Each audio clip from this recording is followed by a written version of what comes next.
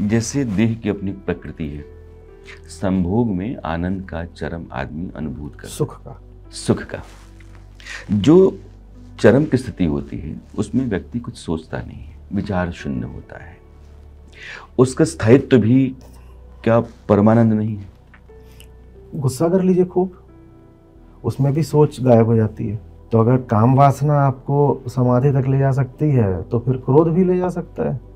तो ये सब जितनी बातें हैं कि आप काम के माध्यम से राम तक पहुँच सकते हो यही ये सब बेकार की बात है इसमें कुछ नहीं रखा। तो सुख और आनंद इन दोनों का अंतर क्या है? सुख प्राकृतिक सामाजिक होता है।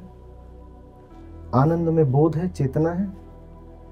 आनंद का मतलब है सुख दुख दोनों से निपट लिए।